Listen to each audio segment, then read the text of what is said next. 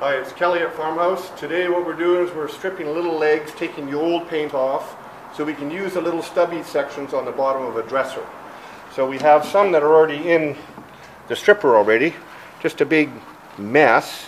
So we can scrape some of that off, get some of the first layer of paint off, but there's several layers in there. We got them in this bowl, mucking around. Then we got this one that's a little bit further along that has a lot of it off already.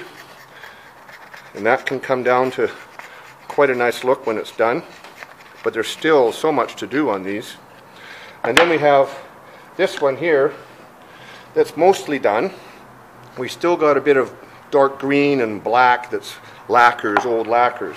So what we'll do is we'll we'll take this out, this old red green paint. You can see the, old, the natural wood is coming through now. And it's very nice, but it's all going to look like that. Just takes a lot of time.